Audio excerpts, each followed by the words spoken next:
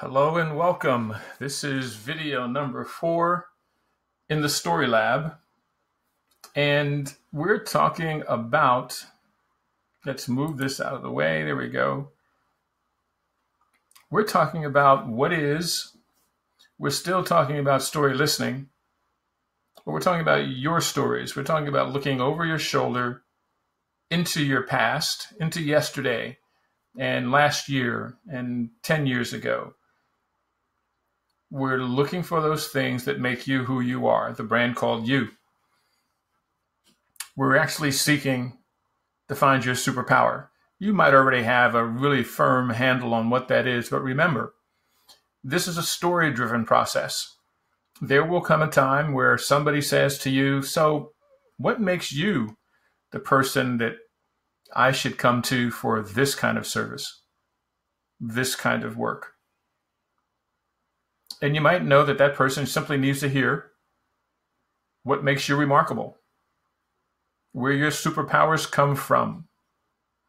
This exercise, more about what is, not what your customer story is, but what your story is, what your origin story is, what the source of all that love, where it springs from.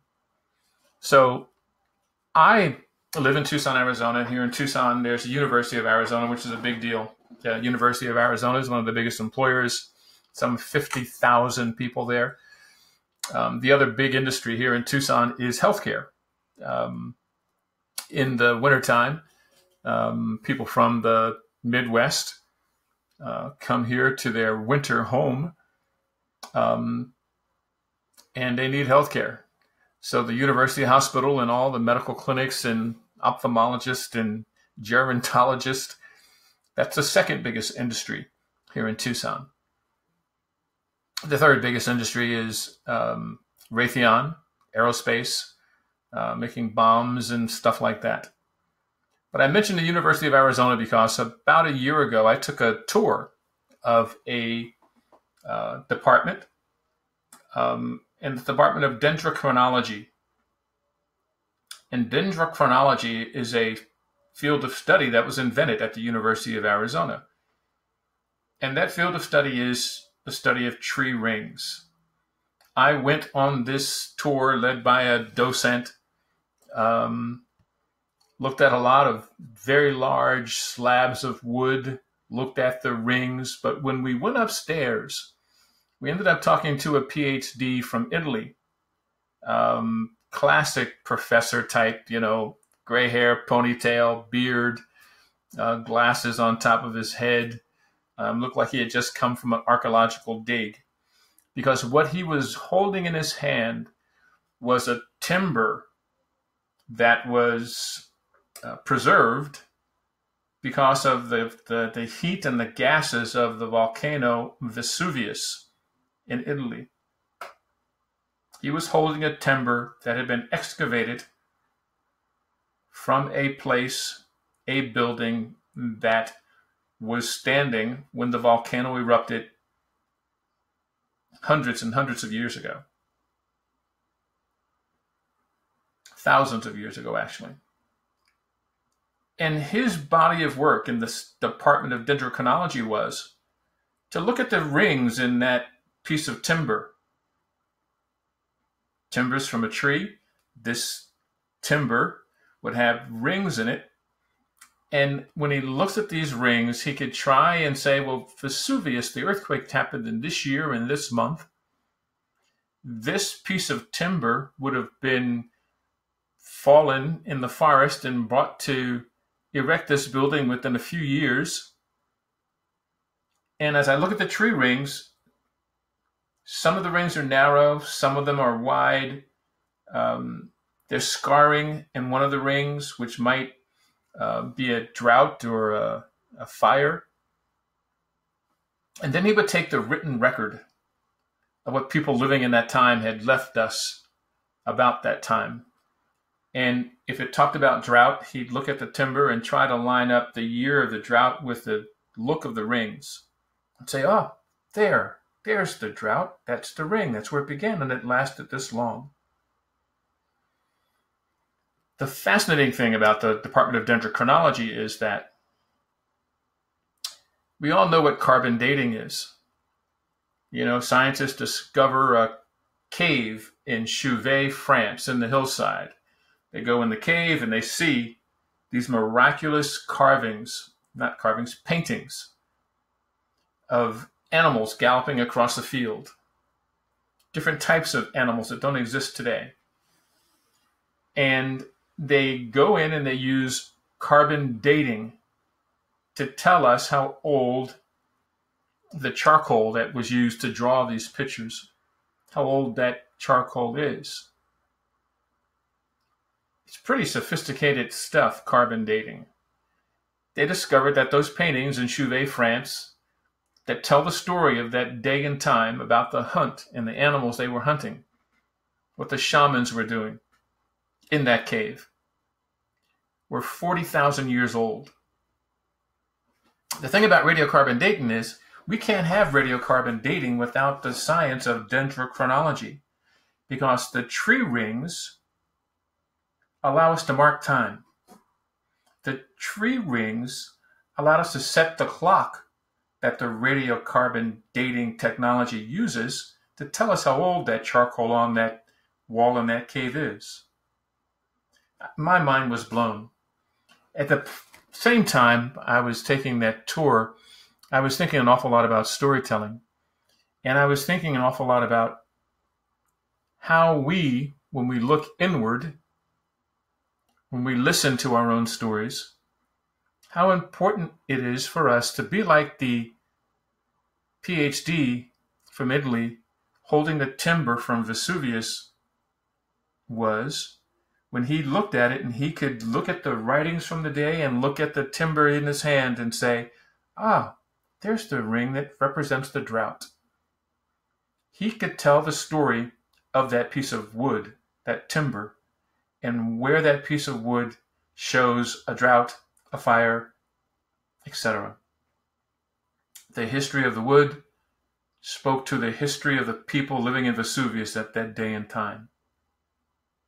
That same kind of effort, the same kind of introspective work, is the work that we're doing together to find your origin story, the heart of what makes you the brand called you, lives in those origin stories. And well, here's here's a better example. Um, I love talking about this stuff, so I'll just go on and on and on. Um, what better way to talk about the rings that humans have than to look at the tree itself? Here in the center of the tree right about here, 1148 AD. Old tree, right? Here's a point in the tree where the Magna Carta was signed. Great document from the United, United Kingdom. The first time modern laws were put in place. Significant fire scarred the tree here in 1341.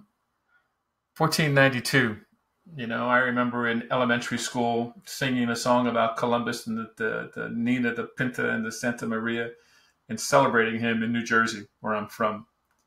New Jersey has a lot of Italians, so Columbus Day was a big deal. It wasn't it? until very much later that I realized that the indigenous people that lived here before Columbus got here didn't need to be discovered. Different conversation, but somebody marked this ring on this tree as the year Columbus landed in America. Then Drake lands in California about a hundred years later. And on and on and on. This tree from 1148 to 1919, before it was cut and laid on its side, existed for about 800 years. And each year, we can tell what was going on in the world and we could tell what the climate was doing around this tree at that very same time. Um, our opportunity is, I know this is corny, but work with me here, to think of ourselves as trees. We have the years that we've been on the planet, and each year we have things that were ripe with satisfaction. Oh my gosh, it was a fantastic year. Maybe we moved with our family one year and it was stressful because we left our school and had to go to a new school, and teenagers always have difficult times making new friends, leaving old friends. That year, what does the ring look like? What do we remember about that year? How did we get over the move? Who helped us? Did we help ourselves? Did we read a book that said, don't worry about it, it's going to be fine? And we believed what the book said, so we were able to be fine. We're looking for those mentors, those influencers, those guides, those books, those writings, those teachings, those moments where we sat in the church pew and heard a message that moved us. The time we sat with our grandparent and and they told us about something going on in the garden and how food was raised and how important it was to have connection to the earth that never left us. We are looking for those memories, those things that when we look back over our shoulder, that we may not think about every day, but we're going to think about now. And we're going to take them and we're going to categorize them. We're going to place these kinds of experiences over here. These are the experiences with my grandparents and my aunts and uncles right? My mother and father's family. These are the things I learned when I was with them. And here's my friends in the neighborhoods that I've grown up in. Some of them I still know today. Some have moved away, but I remember when she said this to me, it hurt me, but I learned how to bounce back. That's a lesson. I learned how to bounce back. Each lesson, each person, each writing, each book, each moment has impact on making us who we are today that's where our origin story springs from. The same way the dendrochronologist and the PhDs looking at trees can mark time throughout the history of humans on this planet and tell the story of the planet and its climate and the climate change. Um, you know, I can talk about this all day because it's fascinating to me. And we're talking about the power of story. We're talking about the rings of the tree, but we're also talking about the roots that make you who you are. Those memories from 20 years ago, they're deep seated roots that when we hold on to them and we cherish them, when we look at this sheet of paper where we've written all of these ideas and influencers and guides and mentors and writings down and we spread them out, we're looking for the relationships. We're looking for the ones that this was a good moment, but I don't carry that forward today, but this one and this one and this one, oh my gosh, I've forgotten about them, but they certainly impact who I am today and what I believe. They provide the lane that I live in. I don't say these things, I don't do those things, I stay in this lane. And when I stay in that lane, as a leader, the people that I am in service to and the businesses that I serve will look at me and say, She's always in her lane we know she's always going to be in that lane, and that's a good place to be. Because when we ask her a question, she's not going to overreact. She might come from a stressful moment, but when she meets with us, she's going to be the same calm, full of love, connected to our mission, caring about us. That's what integrity is. And integrity lives in our rings, in our memories, in our lessons, in our roots. Zig Ziglar is like Napoleon Hill to some people. Um, I read a little bit of his stuff, not a lot, but I read this and it stuck with me. The past is your lesson, tree rings. The present is your gift, the here and now. The future is our motivation. The future is this business plan, this lean canvas that we're going to build. We're listening to the stories, we're building with the stories that story doing. We're going to tell the story of our offer to the world to the ideal prospects whose story we know so well that we know what words to use, we know where to find them, we know how to talk to them, we know what they want to hear. And that is our motivation. And we build this plan so when it's time to sell, I rather call it collaborating to co-create. Because we collaborate with the businesses and the people we serve to co-create for them the optimal solutions that serve them so they can go off and create more. And whatever they pay us for that, they get exponential rewards in return. They pay us $100, they get $10,000 of value. That's the business that we're in. This is where it begins with the origin story. Then we have the founding story. Then we have the customer story. Then we have the product story. There's the evolution story we'll get to as well.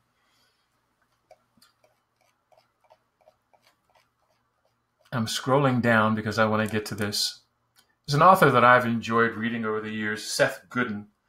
He's a prolific writer. I don't know how many books he's written, maybe 30, all talking about marketing in general, but really just the process of being human and and just less tech thinking about less technology and more about thinking about what it means to be human. And one of his books was called Purple Cow. You may have read it. And he's from New York um, he's traveling with his family in a little Volkswagen through the hills on the countryside in the south of France. Mediterranean on the right, hillside on the left, lavender spreading up the hills, but occasionally they see a herd of black and white cows. The scenery could not be more beautiful. The family drives and drives. They've got hours to go. Ocean on the right, or the Mediterranean on the right beautiful hillside with black and white cows on the left, kids in the back starting to get a little anxious. The long ride. The husband says to his wife, Seth says to his wife, kids are getting anxious. You know, it would be really cool if we turn this next corner. And as we turned, all these black and white cows were there, but among those black and white cows, we looked and on the hillside there was a purple cow. And he asked his wife, What would we do? She said, We'd stop the car. He said, Yeah, we'd probably get our cell phones out and take a picture so our friends would believe us when we told them we saw a purple cow. Who's ever seen a purple cow? The wife said, We'd probably get out and take a selfie with the kids so the kids could tell their friends they too saw a purple cow. Seth said, We'd probably look for a farmhouse, and if we saw it, we might drive up the road to the farmhouse to ask the farmer how in the world did you get such a remarkable cow, a purple cow of all things? The moral of this story in this little tiny book that Seth wrote is that each of us has the same opportunity to be like that purple cow because we are. My thumbprint is mine, no one else has it. It's like a snowflake. Each snowflake is uniquely different from all the other gazillions of snowflakes that fall from the sky. Of the 7 billion plus people on the planet, nobody else is like Arthur. You might have the same name, Arthur Jones, and you know, part of the Jones clan, there's a lot of Arthur Joneses out there, but no one's like me. And now, because of my origin story, I know why I'm unique. I know what makes me remarkable. And what makes me remarkable fuels my ability to do the work that I do in the business that I founded. Our goal in your origin story is to find out what makes you remarkable. And the term remarkable is worthy of being or likely to be noticed, especially as being uncommon or extraordinary. I'm extraordinary because of 7 billion people on the planet. No one else is like me. 20 years ago, I don't know if I actually owned that. Now I do. And it fuels me. It enables me to do things that I believe are remarkable. To take the vision for using storytelling to help people in business accomplish more.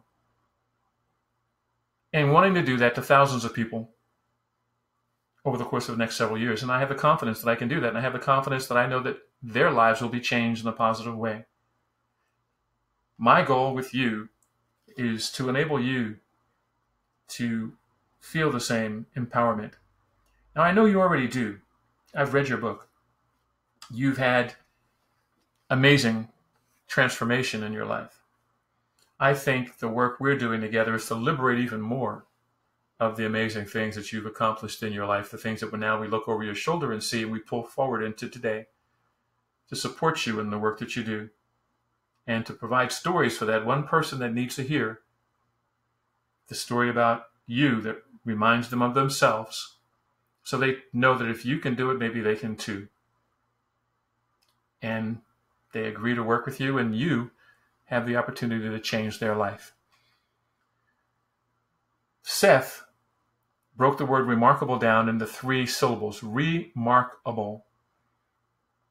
And when we look at our tree rings, we look at our, our life history for the influencers and the mentors and the guides that have helped us get to where we are today.